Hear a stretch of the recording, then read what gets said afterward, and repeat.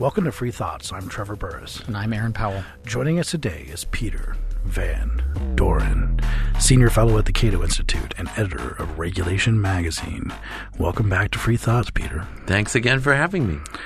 Now, I hold in my hand, hot off the press, is an Onion article from 2000, of which the title it's is hot off the press. Yes, it's it's off the printing the printer at least. And the title is 98% of U.S. commuters favor public transportation for others. What does that say about public transportation politics? Well, oddly enough, um, well, maybe not oddly, the Onion, right, finds the truth and then tells it to us in a satir- satirical way. And in this particular case, uh, they're actually quite right.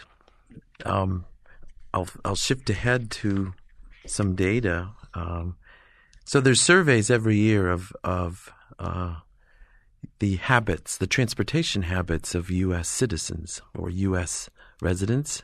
In the Trump era, I don't know whether they're citizens or residents, but anyway, there's a Department of Transportation survey, and they ask people, um, "How do you get to work?" And I have in 1989, drive self, right? Then there's ride with others, which I didn't include, but drive self was 76.3% in 1989. 2016, guess what? 76.2%. No, 76.3. Oh, it's wow. That's, exactly, it's, that's pretty amazing. It's, it's exactly the same. So, what does all the money we spend on transit do? It allows most people to still drive themselves to work. Now, when did you first get involved with public transportation policy? 41 years ago. I was, I had, so I graduated from MIT in 1977 and the summer of 1977, I spent as a research assistant for a professor named Alan Altshuler.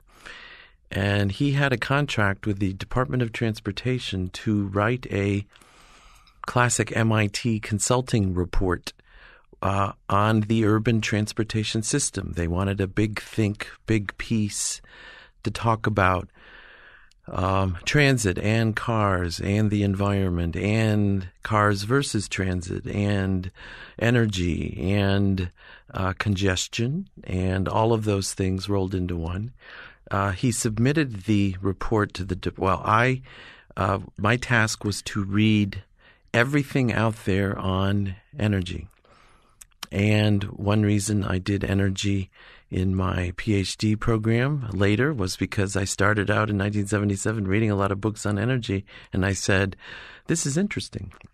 But this experience with Alan Altshuler also also got me interested in urban transportation, and in my scholarly career before Cato, I taught courses on urban policy analysis for 20 years, and a component of that class was always a transportation component, and it got started with this summer research experience in 1977.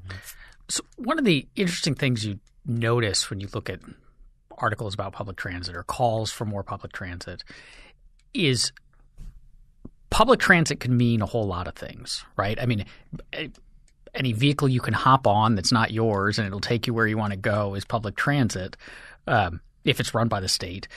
But when we see, you know, we need to spend, we need to ramp up money, we need to put more infrastructure in, they don't mean things like buses. They never mean things like buses. They mean things like light rail, light rail, trains, things that you, I mean, first have the, the effect that you have to figure out exactly where they're going to go, and then they're going to go in exactly that spot forever and ever till the end of time, unless you want to dig another tunnel under Washington D.C. or whatever.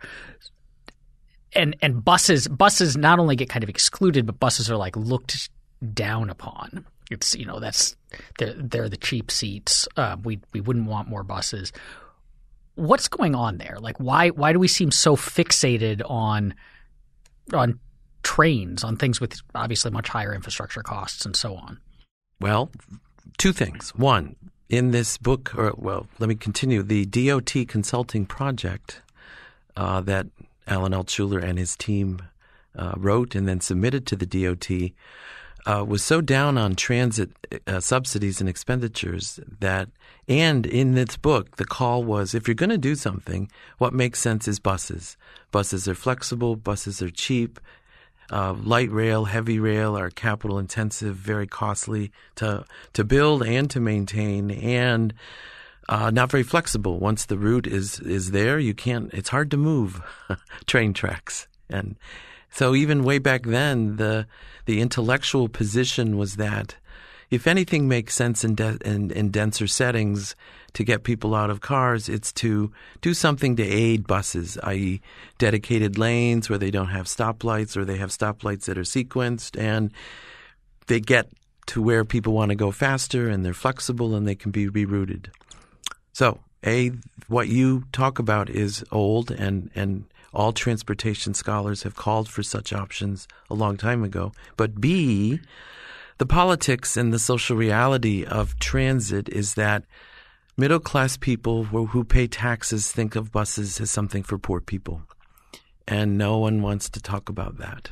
Um, I'll give you even um, where I live, Montgomery County, Maryland, uh, which I affectionately call the People's Republic of Montgomery County. It's very, very liberal and uh, is known nationwide as being a transit leader and a um, um, uh, where urban planning density is required. All of those, all of those things in the liberal land use playbook are epitomized by Montgomery County, and yet, in my own county, this is an article from 2009 in the Washington Post. Council, Montgomery County, Council also picks light rail over buses for transitway project. So this is the Corridor Cities Transitway. This is up county where I live to link upper upper county with denser parts of middle county. I mean, um, closer to DC parts. Yes. Yeah. Um, light rail for the Corridor Cities Transitway on a route that would begin at Shady Grove, swing west to the proposed Science City, north to the ComSat building near Clarksburg, would cost about 900 million to build, about twice that of a bus rapid transit line. Okay, so, and the county council staff uh, recommended to the council that they have a bus plan rather than light rail. Now I'm reading you a quote from Michael Knapp, D, Up County, i.e., he was my representative on the county council at the time. And this is a quote Montgomery County, Maryland. I've not had a lot of conversation with folks who want to get on a bus, no matter what you call it, whether it is a pretty bus or not said Council Member Michael Knapp, who represents much of the area the transitway would serve. He said his constituents expect light rail. So, it, it, I mean, there you go. It, so, was the conclusion of the study, which was done for DOT uh, buses, yay buses all the way, or maybe buses? Oh, totally buses. But I mean, I mean, I mean that buses if, should if, be subsidized a lot, or but or just if you're going to do it, you should do buses. If you're, I'd have to go back and check the exact language. I mean, the the sort of libertarian concerns uh, that we're now discussing and animate our discussion certainly weren't part of my world back in 1977, nor in Alan, Alan Altshuler's world probably ever. Um, so I I rather than misquote what the book does or doesn't talk for, it's just that my memory is that we adamantly said, um, you know, heavy rail is very expensive, make makes sense maybe only in Manhattan, and that's and that's if it makes sense somewhere, would be the New York City context, uh, and everywhere else. Um, buses because they're flexible, they can change, they can you can adapt to whatever reality happens and then the problem is they're buses and middle class people. They, I mean, my own view is they go to Europe, they see the trams in Amsterdam, and they come back and they say, and they read the New Yorker, like I do, and they say, we, we got to have trams and look like Amsterdam. I mean, uh, uh, to to be honest, I think it might be simple as that, and it's very class related. I.e., the help rides the bus. We, we don't. I wonder if that's now exacerbated by the changing cultural place of cars in America? Because there was so there was a time when you know everyone you, you aspired to have a car. A car was a symbol of freedom. Um, a car was the kind of quintessential American object after maybe a baseball. Uh, but that has changed quite a lot. So y- younger people you know are less likely to drive or have less interest in driving or uh, and and the car is the car is kind of now seen as this thing we have to figure out how to get rid of because it's the source of global warming, of congestion, of traffic noise, of fatalities, of whatever else. And so a bus a bus is simply a bigger car, right? So even if a bus doesn't doesn't have some of these same problems, even if it's better than trains in all sorts of ways, it still is kind of admitting defeat in, in the crusade against the automobile two th- one there certainly has been a discussion in the literature of whether auto behavior and autos in US culture have changed there was a decrease for the first time ever there was a decrease in vehicle miles traveled after the great recession and urbanists and pro or pro transit and anti car uh, people and environmentalists and young and there was this proclamation that the U.S. has changed. We've gotten over the hump, and we're now going towards Amsterdam. Uh, everyone's going to have bikes and trams and blah blah blah. It, trying to disentangle the Great Recession from actual changes in goals, which would, if people's incomes got back, so subsequently the VMT has come back, and as I gave you new data, the transit share has not changed. Uh, well, it's gone up a little, but driving self ha- has is remarkably constant over time. The breakdown by age is is not available in the transportation statistics. So I don't think I, I could be wrong, but I don't know of data where driving self by age is is available. It may be, but I'm I'm not aware of that. So the uh, anecdotally, uh, I have a nephew who uh, lives in Seattle and quote was reluctant to own a car. He didn't care about it, and I said, "What do you mean?" You know. So I guess we all may have younger nieces and nephews in which the alleged change um, exists, but in the aggregate data about the U.S. as a whole, it still seems very auto based and. Um, I don't have enough information to know whether this youth trend is or is not was recession induced or whether it's actually um, going to sustain itself as they enter middle age. I'll just as, further anecdotal data. So my my father worked for 35 years in the auto industry as a for General Motors and retired a few years ago. And and towards the end of his career, when we would talk about the state of this stuff, one of the things he mentioned is that a all of the the auto industries, one of the, the big problems that they had was figuring out how to market to young people because they were all concerned and whether this was borne out in the numbers or just kind of a, a gut feeling that this was the direction they would go that young people were not interested in buying new cars anymore. You know, what? That, that, if they if they got a car, they they were perfectly happy to buy. They saw it as more just like a commodity. You know, I just not not cool anymore. Not cool. I can buy a used car. I don't really care about you know the the kind of American graffiti lifestyle was gone, and so they were trying to figure out how to. I mean, basically how to market like new General Motors cars to millennials, and were very worried about this. I think that I saw a stat. I'm pretty sure this is correct. That in, I think in the last 15 years, so 15 years ago, 90% of people over 16 or over driving age had a driver's license, and now it's 75% of people.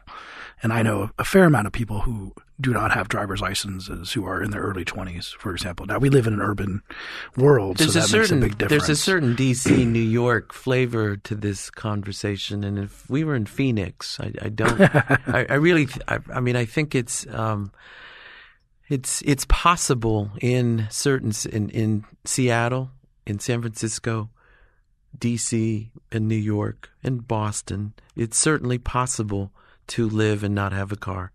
I mean, even back when I didn't have a car till I was 30, 31, something like that, because I was in academia and lived in college towns, and you can wander around by bike or you know whatever. But um, outside of those locales, um, it's I suspect that what we're talking about is is not true. I also wonder about the.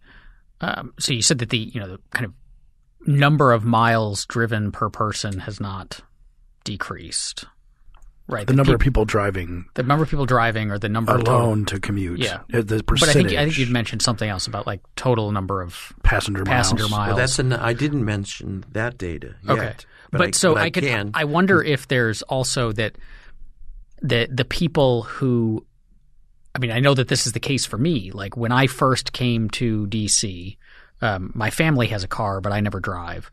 Um, my kids are actually always astonished when I do drive, and they'll tell their mom. Like if I drive them somewhere, like when mom gets home, they'll tell their mom that dad drove them, and they always say it in this way that like, "And can you believe we're not dead?" sort of way. But but so I didn't drive much at all, and so I took a lot of public transit. But then over the last five six years, I personally don't drive, but my Uber driver does a lot. And that still is counting as. And so I wonder how much of public transit time has shifted in these urban areas, and especially in DC, New York, San Francisco, back to cars, but in the form of ride sharing. I did not. I can look. It's hard to I'm say. not prepared. I, I can look up the data. Um, actually, we could we could supplement it, put it up on the on the website associated with the broadcast. Um, I am. Uh, But I think it's important that that puts it in a context of al- al- alternate ways of commuting, alternate things to do that have come up to into existence. Uber, the scooters that are everywhere in DC. That that metro ridership has the metro ridership has been going down. You have the numbers for DC, I think, on uh, how many people commute via car versus metro. Well, even in DC, again, the, the transit use is very, very associated not with actually total population density, but with downtown employment. Transit is good at- getting people from dispersed uh, uh, areas to one central place. If that's not the design of the urban area, then it's of very little use. So DC is a large employer. It's called the federal government. And a lot of those jobs are downtown. And yet in DC, you'd think, I mean, just off the, I'll ask you guys, what do you think the percent of commuters in the Washington, D.C. area, right? That's the whole metro area that use transit. What percent of work commutation occurs by transit? 20, 27 percent. Fifty percent. It's 14. That's Okay. astounding. It's only 14. It's just, it's, How does that?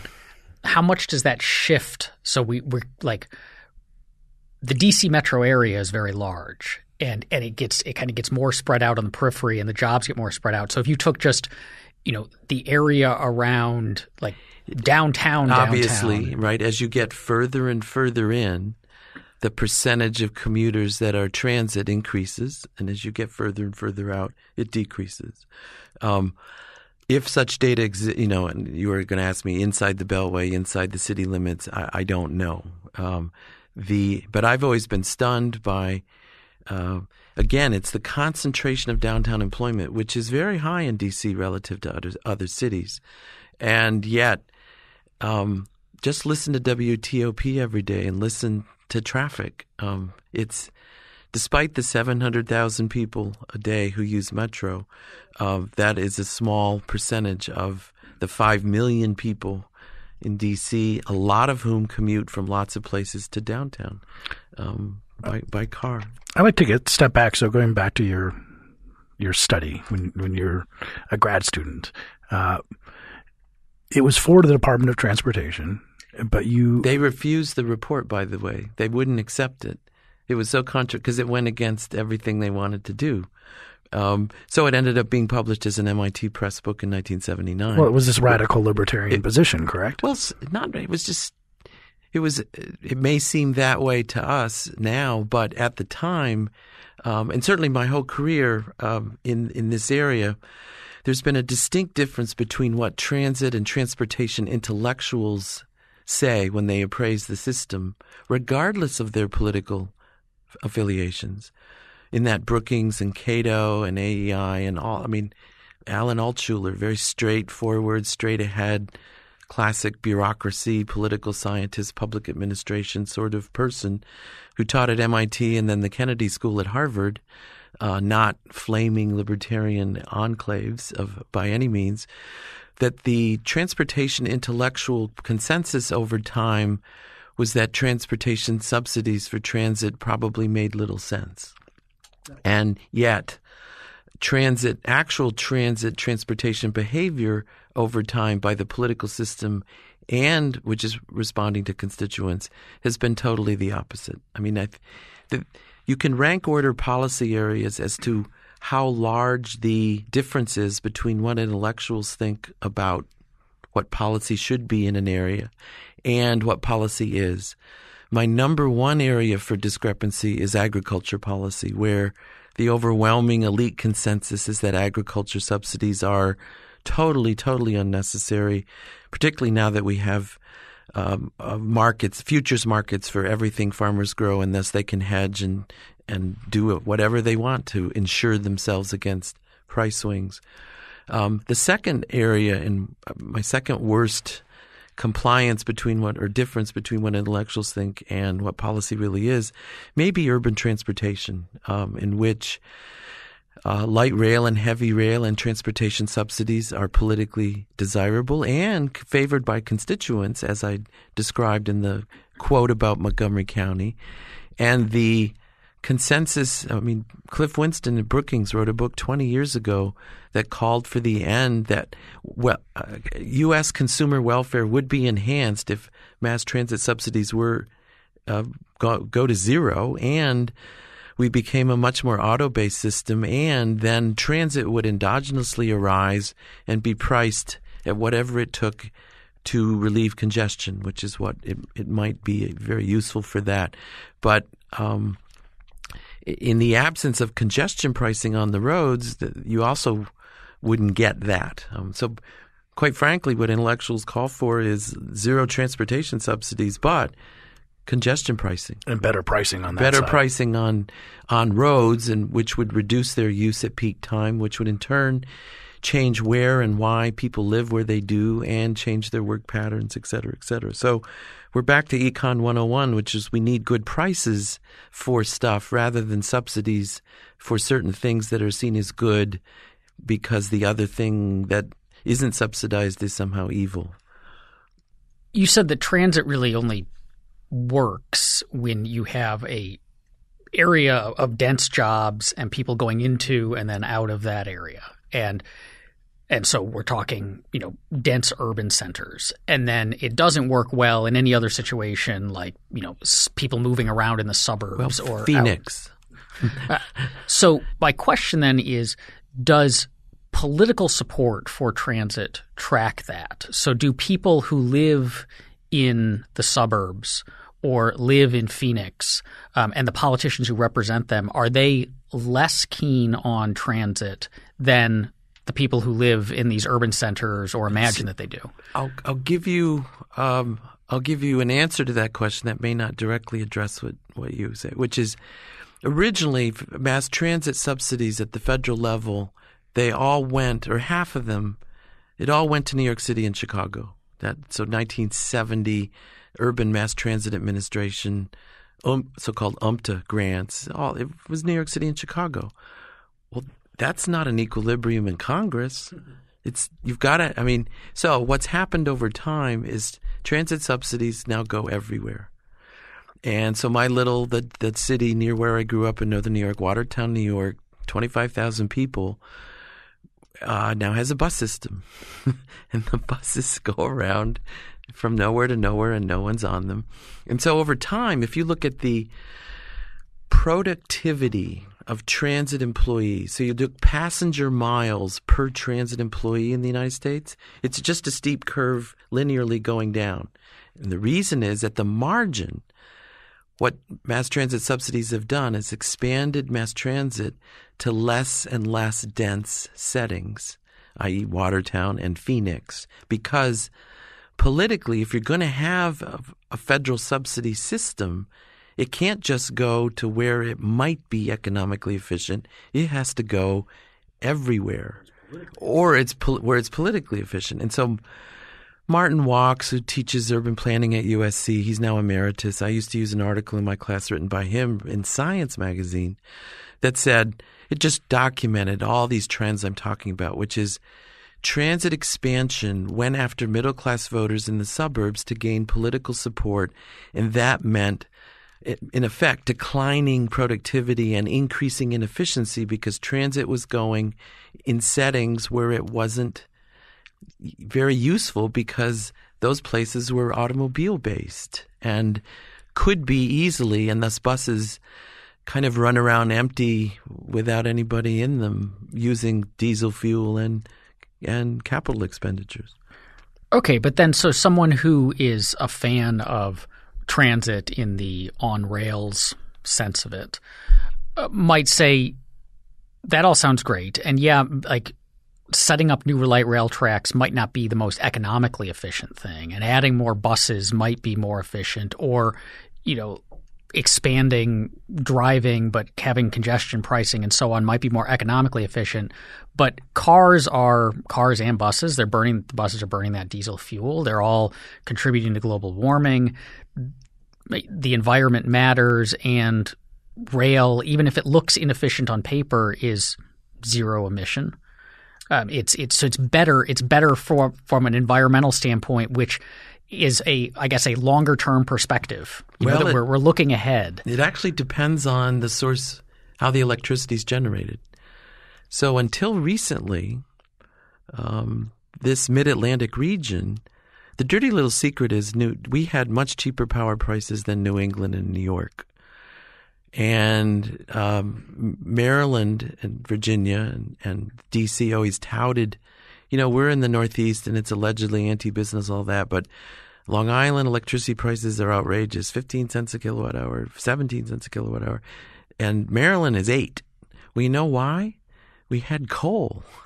Proximity. So half, half of, until recently, just the past few years. Do you mean coal is closer to no, Maryland, or just they used coal? Of, half of electricity in the Pepco uh, electricity system I know because uh, twice a year the electricity bill has to send out an emissions report to every customer, and so you all threw them away. I read them. of course you did. this is why Peter's our favorite guest. uh, it's I always was amazed that in this liberal, right in Maryland and D.C., liberal, liberal, liberal, etc., half the electricity comes from coal-fired power plants, and so electricity was cheap here because we burned coal. So when you went on the metro, you were and used electricity, you were burning coal. And that doesn't even include the energy when you when they built it, which also can be a lot of fossil fuel. If, oh. you, if you're running earth movers around that are running on diesel fuel and shipping in rails and all that stuff. In the book I talked about earlier, the Alan Altshuler Urban Transportation System book, um, there were calculations done in the book about whether the construction of BART in San Francisco, the Bay Area Rapid Transit System, the energy used to construct BART, if you assume that it actually saves energy operating relative to cars and make some assumptions and how how full the cars were and how empty passenger, you know, if you rig it, you still came out with it would take a it, it might never ever recover the energy used to build BART because it's underground it's it's very expensive and energy intensive to bore tunnels. Um, but but it's also, I mean, it also be expensive to, you know, you want to get okay. We want to let people drive into DC to it, instead of the routes that they're taking on the metro. You're going to have to. There's no highways that run through DC. Putting a highway through is going to kick up a lot of stuff into the atmosphere as well. So uh, how does it compare to building, building road. roads? Uh again, the book I didn't read that part of the book. Uh, it's been 41 we, years. Yes, Come on, we, Peter, we, recall off the top of your head. I don't. Not that I would be surprised. I don't want to misstate what the the book had a long discussion about total life cycle costs of transit versus highways and things like that, and and so I think there are answers to your questions out there, and again, I'd have to go dig a lot more to to, to figure out. Well, it have it would have to be if you're not digging tunnels into the earth. I mean, maybe if you build the the big dig in Boston, cost about as much as uh, was, as a as a metro line, but most highways you just that was a put big them deal. on top. That the, was a huge. The deal. Boston thing was a big. Never would have happened without federal subsidies, and those wouldn't have happened without Tip O'Neill being Speaker of the House. So, I mean, it that's the Tip O'Neill subsidy to Boston was the big dig. I forget how many billion dollars. I can't that- even remember, that- and how much longer, and how many overruns. But I, but this is a good segue to go in to talk about highways in the city and all this stuff.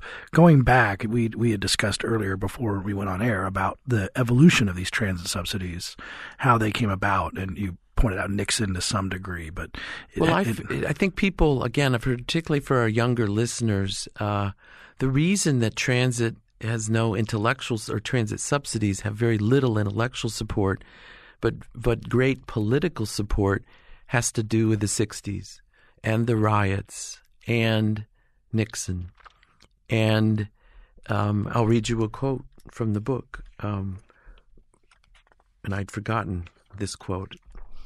This is uh, page. Oh, I don't have the page. Page thirty-six of the Alan Altshuler book. So uh, Altshuler's explanation of why, in his estimation, even though transit makes no sense from an economic point of view, why is it so popular? And the answer was as follows: Whether one's concern was the economic vitality of cities, protecting the environment, um, stopping highways, energy conservation, assisting the elderly and handicapped and the poor, or, as the Onion article said, simply, and I'm inserting that, that wasn't in this book, or simply getting people off the road so I can drive faster, transit was a policy that would be embraced. That is, it wasn't that transit was actually an effective way of serving any of those objectives. It's simply that everyone believed that it would be so and that's politics, right? So transit was the Republican answer for what to do about cities that were burning without bringing up race. And particularly since highways, uh, the urban interstates were the last to be completed in the system. And they were expensive and they were always associated with slum removal. And black neighborhoods resisted. They said, why, why are you knocking down cheap housing for us when this road is going to serve white commuters who aren't don't even live here. So in Boston and in D.C. So you know the um, is it 395 right that that stops Yeah. right down here from Cato. Mm-hmm. That was supposed to be I-95 through D.C. oh, cut right through the middle of It the city. right through right, and then there were protests, and so they stopped. In Boston, if you take 95 from the Tobin Bridge down, and you have that big left-hand turn in the middle of the air and you go next to Boston Garden, if you look to your right, there's this exit that goes off into the air and then stops. And again, people don't realize there was going to be an interstate between MIT and Harvard, right through central Cambridge, going by, right by the BU Bridge, right by Fenway Park, and then through Roxbury, and then hooking up with 93, 95 south uh, of in in, in the south end of Boston there were protests. There were, and the governor of Massachusetts at the time was an MIT graduate, and Alan Altshuler was the Secretary of Transportation for Massachusetts. And so Alan Altshuler invented the solution, which was the urban interstate highway trade in, which is if a governor asserted that we needed to, to, to not build these highways that were part of the interstate system, we could convert that money into mass transit projects. And Altshuler says this was a decentralized conflict. Congress could reassemble the coalition that was for transportation. The anti highway protests would stop because if you didn't want it, you could get your subsidy and do something else with it. And the rest is history. I mean, it, it was a so mass transit spending grew the most under President Nixon.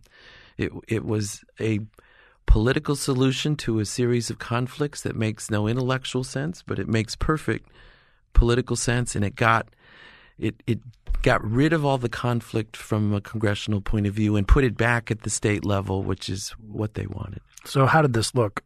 I mean, the the New York City subway and I and the Boston subway.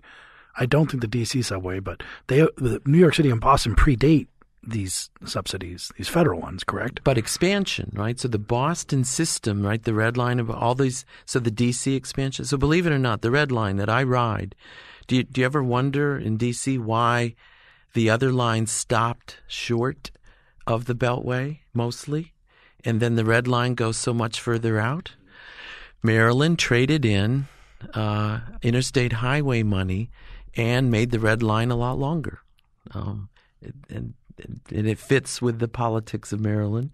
Uh, the reason the Orange Line historically stopped at the Beltway and uh, and both ends, right, is that money was used by Maryland for the Red Line to extend it, uh, and again, interstate highway. So, feds like to spend money. It's popular, but this spending money in this way in certain constituencies led to hassles for those constituencies. So they said to the constituencies, "You can use your you can use the money for other stuff." But New York City and, is private, right? The the subway. That's what I meant. But at one point, sort of. Um, initially, yes, but even after, but, but by 1913, they were built with city capital money, but then operated and owned privately. So it's a hybrid a hybrid model. Um, total conversion to the sort of MTA running everything is is post World War II. Uh, Boston, the system went bankrupt in 1905. so a privately created like hybrid system. Private, well, that was really private, um, and that went bankrupt early. Um, there's in in both New York City and Boston, the subway systems were very much. Pre- uh, the proponents were real estate developers in the outer boroughs. Uh, Queens and Brooklyn were developed because subways allowed people to get there and get to work in Manhattan quickly. And real estate interests didn't want the fares to be high. They wanted the fares to be low that, so, so that people settled.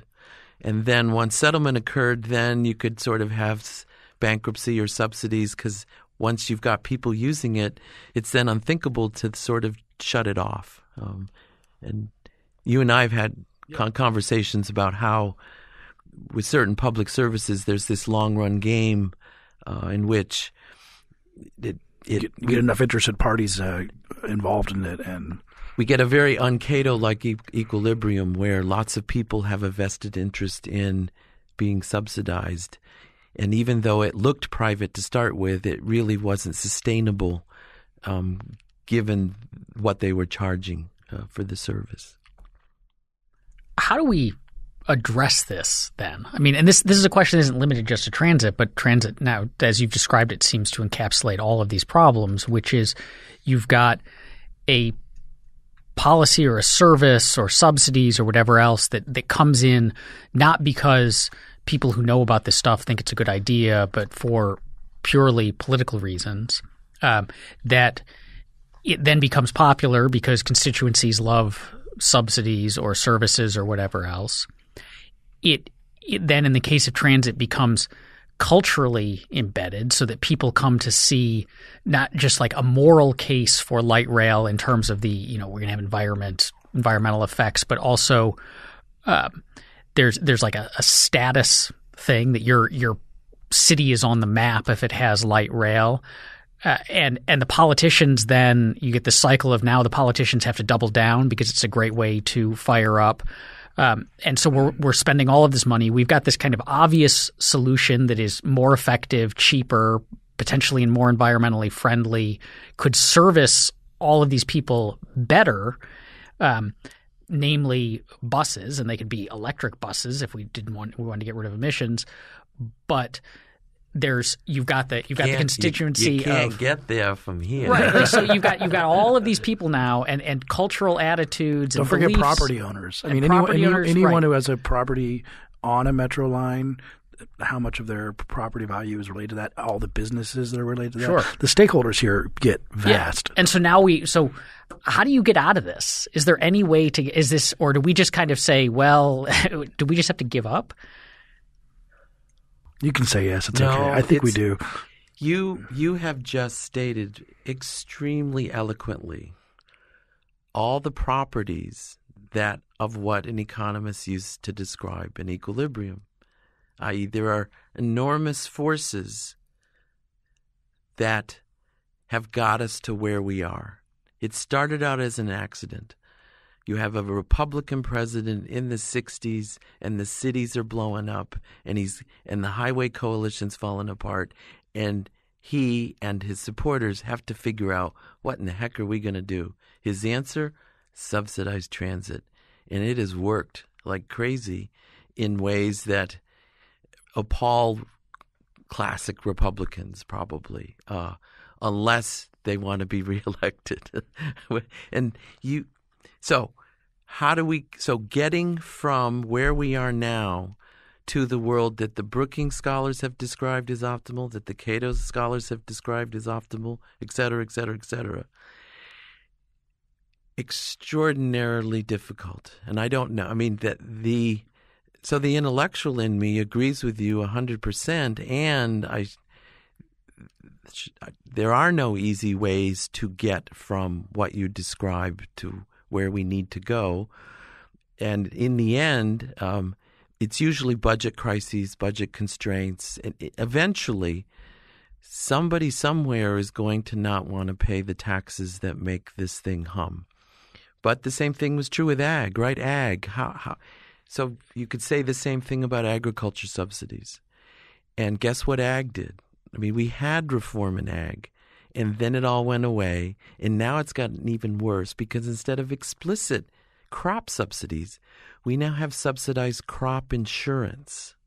Well, that sounds much better to vote. I mean, who's against insurance? Yes, it's just ag subsidies dressed up in new clothing. So, if you want to be very, very, very glum about things, think ag and maybe transit. Um, and uh, so, no, do I have any great answers about how to get out of this? And the answer is um, I'll, I'll give you even a bigger puzzle. The Silver Line in D.C. Do you know what's paying for it? So this is a, a new expansion it's, of the metro for those of you. Oh, okay, sorry, the, yes. yeah. Those Americans, for some reason, live outside the I'm, Beltway. I'm going to say I'm going to say airport taxes, maybe. Well, there's some federal subsidies, but you know, a lot of what's paying for this Silver Line excess toll diversion from the Dulles Greenway, which is a private road. So we have a Cato approved road, and it goes from Dulles to Leesburg. It's a private concession, but it's governed by Virginia. And so what Virginia has done is there's now a surtax on the tolls on the Dulles Greenway that's going to go up and up and up and up in the future. And I've been betting with myself when are the motorists on this road going to understand that their tolls are not, even though it's private, are not just paying for the debt service on this road, the all the toll increases that they're incurring now are going to subsidize the construction of the Silver Line. And you'd think some Loudoun County officials would say, enough, just stop, just, we've had enough, right? Kind of a, a network. I've for those of you, that's an old movie where some guy leans out the window. I'm mad as yells. hell, and I'm not going right. to take it anymore. Yes, and well, so eventually, the cross subsidy game that keeps all of this going, which is, and Randy O'Toole, our own scholar, has talked about the the diversion of gasoline taxes from roads to transit and bikeways and every other thing under under God's green earth, right? do motorists understand that they're not only being taxed for the roads, but the taxes are being diverted to things they don't use? If motorists understand that, and I thought this Loudoun County thing would blow up, so far I've been wrong, right?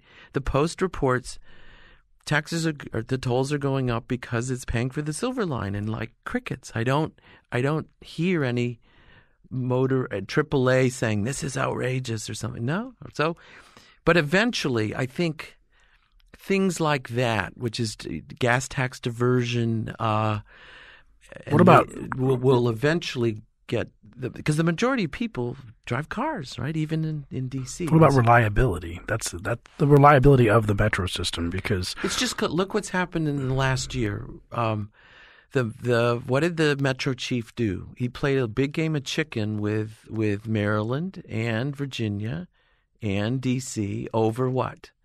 Not we need more, not to make the users pay more. Instead, it was, you know, it's a shame that this that Maryland, Virginia, and DC are ponying up, and a ded- we needed a dedicated source of public revenue because all other transit systems have it. DC's the only one that's not. That's our problem. We don't have a dedicated source of revenue. the Republican governor of Maryland, sort of reading the tea leaves, kind of held up for a while, but then he realized, you know where all the voters are? They're not out in the Eastern Shore, uh, where the chickens are grown. They're in Montgomery County, and you know what? They Those, like their metro. And they want the purple line. So he caved and let the purple line go through, even though it's $1.4 billion. And it's going from nowhere to nowhere. And it took away a bike lane from all the people in Chevy Chase that loved the old railroad path that was their little recreational trail. But he still did it because um, they're good at reading what wins elections. And my sense is this is going to go on until I think it, it's diversion of the gas stuff will eventually. Um, people will say, "I thought I was paying for the roads," and well, you sort of are, but we're taking a third of it and we're using it for things you don't believe in or use. And so, is there an ultimate lesson here? This is we we might have said some uh, weird things to people listening today, where you, you know say, "Oh, public transportation is an important thing. It's so great. I love it." How would people get from South Brooklyn to Manhattan, or how would people get from Arlington to DC, or how would people get from Roxbury to downtown Boston, or anywhere else? Um, what is the lesson that you generally should take away from the, how how these public transportation transportation systems arose, and then or the, how about a meta a meta I mean, we could go above this. Was what unites ag and transit and all of this stuff and the answer is politics is a combination of belief systems that justify things combined with uh, diffuse taxes on a lot of people redistributed to a much smaller set of people in a concentrated way. So the gas tax diversion is on a majority of transportation people are auto users and they don't know there's diversion and the gas taxes they don't may not even realize what they are and all that because they're embedded in the price. So small taxes on a lot of people diverted to purposes that also have philosophical or normative intense support. I, who could be against transit or against farmers or whatever? That's a that's that's a winning coalition, and that's very sustainable over time until either the philosophy goes away and those people are now abhorrent for whatever reason and I don't know how that that's what sociologists and historians figure out. How do you go from being in to being stigmatized? And then two, um, eventually the the, ta- the the the group of people that are taxed somehow wake up and realize it, and there's some incident or something that that causes a crisis in, in this in the political support of those taxpayers.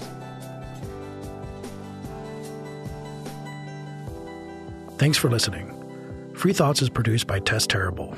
If you enjoy Free Thoughts, please rate and review us on iTunes. To learn more, visit us on the web at www.libertarianism.org.